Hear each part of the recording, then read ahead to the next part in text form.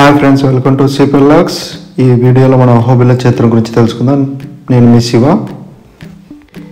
మేము మా ఫ్రెండ్స్తో అహోబిలం రావడం జరిగింది. ఆ అహోబిలంలో ఎగువ అహోబిలం దిగువ అహోబిలం అనే రెండు చిత్రాలు ఉంటాయి. ఇప్పుడు మనం దిగువ అహోబిలం నుంచి ఎగువ అహోబిలానికి బైక్ ద్వారా వెళ్తున్నాము. ఈ బైక్ జర్నీ అనేది చాలా గొప్పగా ఉంది. అంటే చుట్టూ చెట్లు వాటి మధ్య బైక్ జర్నీ ఘాట్ రోడ్ చాలా వండర్ఫుల్ ఫీలింగ్ అనమాట మాకి.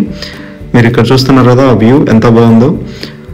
ఈ అహోబిలంలో చాలా మందికి తెలియని చాలా గొప్ప గొప్ప విశేషాలు ఉన్నాయి అహోబిలానికి ఆ పేరు ఎలా వచ్చింది? మరియు అహోబిలంలో నవ నరసింహ స్వాములు ఉంటారు. అవి ఎలా ఉంటాయి? వాటి విశిష్టత ఏమిటి? అనే విషయాలు ఈ వీడియోలో చర్చించుకుందాం. మీరు అలాంటి విశేషాల గురించి తెలుసుకోవాలంటే ఈ వీడియో ఫుల్గా చూడండి. ఫైనల్గా మనం ఎగువ అహోబిలం రీచ్ అయ్యాము. ఇక్కడ చూస్తుంటే డోలి దొరుకునని రాసి ఉంది. అంటే ఎవరైనా నడవలేని వారు వృద్ధులు స్వామివారిని దర్శనం చేసుకోవడానికి స్వాతి నక్షత్రంలో నరసింహస్వాములను నవ నరసింహస్వామిని దర్శనం చేసుకోవడానికి డోలి సౌకర్యం చాలా ఉపయోగపడుతుంది.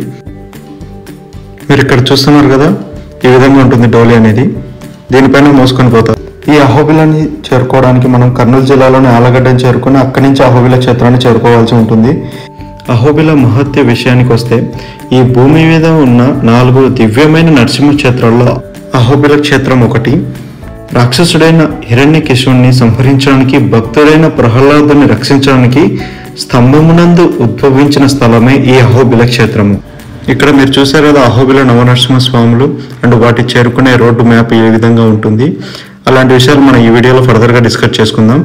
సో మనం ఎగువ అహోబిలానికి చేరుకున్నాము. ఎగువ అహోబిలం అనే పేరు ఎలా వచ్చిందంటే ఎగువ అహోబిలం అనేది గరుడాద్రి వేదాద్రి పర్వతాల మధ్యన ఉంటుంది.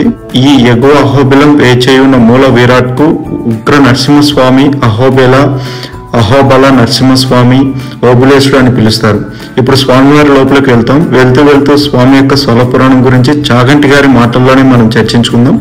వాటితో పాటు మీరు వీడియో యొక్క విజువల్స్ టెంపుల్ యొక్క విజువల్స్ను చూసి ఆనందించగలరు. ఇంకెందుకు? మన టెంపుల్లోకి వెళ్దాం ఫర్దర్గా.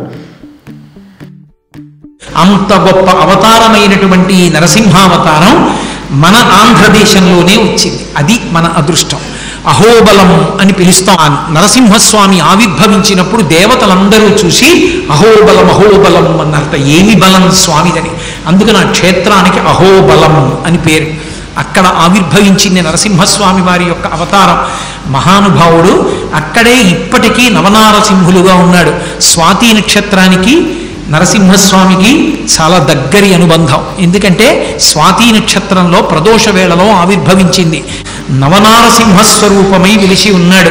ఆ తొమ్మిది మంది నరసింహులుగా ఉంటాడు అహోబల క్షేత్రంలో. ఇప్పటికీ అహోబల క్షేత్రంలో ఆ నవనారసింహుల్ని చూడ్డానికి దారి తెలియదేమోనని స్వాతి నక్షత్రం ఉండగా తీసుకెళ్ళడానికి సహాయం చేయడానికి కొన్ని బృందాలు ఉన్నాయి వాళ్ళు తీసుకెడుతుంటారు సేవ చేయడానికి. దగ్గరుండి తీసుకెళ్ళి దర్శనం చేయిస్తుంటారు. విన్నారుగా చాగంటి గారి మాటల్లో అహోబిల క్షేత్రం విశేషాలు. ఇప్పుడు మెయిన్ గుడిలోకి వెళ్దాం. మన కెమెరా అవైలబుల్ లేదు. సో అందువల్ల మనం స్వామివారిని ఈ విధంగా ఉంటాడని మనం ఇలా చెప్పడం జరిగింది. ఇక్కడ అమ్మవారు. ఇక్కడి నుంచి మనం బయటికి వచ్చి మనకు నవనరసింహస్వాములు కొన్ని నరసింహస్వాములు ఎలా వెళ్ళాలంటే ఈ విధంగా వెళ్ళాలి. ఇక్కడ మనం వెళ్తూ ఇక్కడ మనకు వాటర్ ఫాల్స్ మరియు ప్రకృతి కూడా చాలా గొప్పగా ఉంటుంది. మనం ట్రెక్కింగ్కి చాలా యూస్ఫుల్గా ఉంటుంది. మన ఫ్యామిలీతో ట్రక్కింగ్ చేయొచ్చు మంచిగా. సో ఇప్పుడు మన ఫ్రెండ్స్తో కలిసి మనం ట్రక్కింగ్ మరియు వాటర్ ఫాల్స్ మరియు నవనరసింహ స్వాములు రీచ్ అవుదాం మనం రీచ్ అవుతూనే నవనరసింహ స్వాములు వాటి స్వరూపము టెంపుల్స్ ఎలా ఉంటాయి విగ్రహం ఎలా ఉంటుందనే విషయాలు మరియు అవి ఎలా ఏంటి దాని విశిష్టత గురించి తెలుసుకుందాం.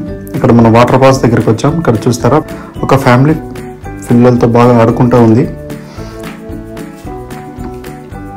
ఇక్కడ వంతెన ద్వారా మనం ఫర్దర్గా వెళ్ళాలి.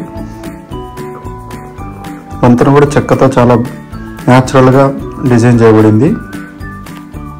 ఇంకెందుకు ఆలస్యం? పోదాం మరి.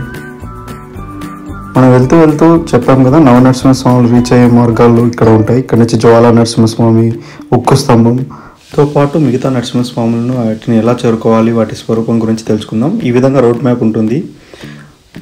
వాటితో పాటు మన వీడియోలో ప్రకృతి యొక్క విజువల్స్ను చూసి ఎంజాయ్ చేద్దాం. సో ఇప్పుడు చాగంటి గారి మాటల్లో విందాం. జ్వాలా నరసింహుడిని ఆయనే ఉగ్ర నరసింహస్వరూపం మొట్ట మొట్టమొదట వచ్చినటువంటి తేజోస్వరూపం. హిరణ్యకశిపుని యొక్క పొట్ట చీలుస్తున్న స్వరూపంతో ఉంటాడు. రెండవది అహోబల నరసింహుడు. అంటే నర ఆ హిరణ్యకశిపుణ్ణి సంహరించిన తర్వాత కూర్చున్నటువంటి స్వరూపం మాలోల నరసింహుడు అని లక్ష్మీదేవి చెంచు లక్ష్మిగా వచ్చి తరిగొండ వెంగమాంబ గారు చెంచు నాటకము అని ఒక అద్భుతమైన నాటకం చేశారు.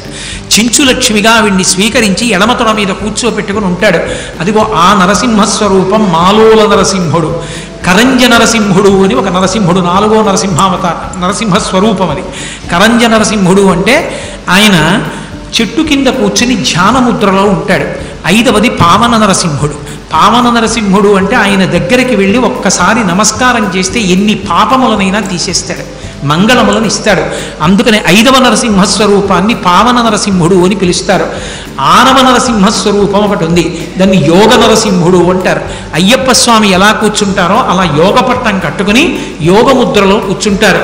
ఇప్పటికీ అక్కడికి దేవతలు కూడా వచ్చి ధ్యానం చేస్తారు అని చెప్తారు యోగ నరసింహుడు.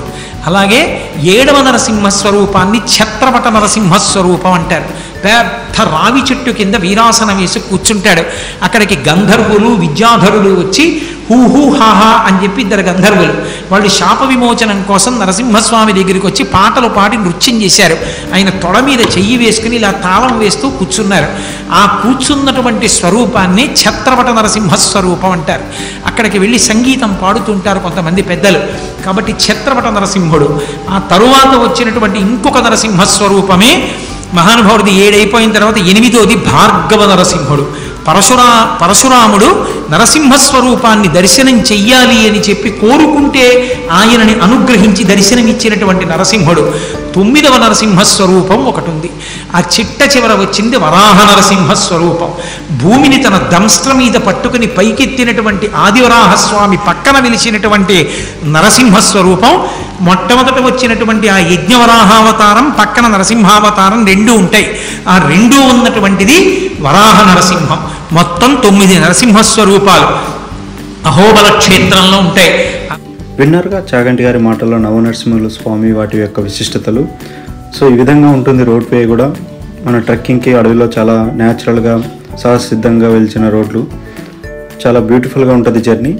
సో మీరందరూ తప్పగా మీ ఫ్యామిలీతో విచ్చేసి ఆనందించగలరు.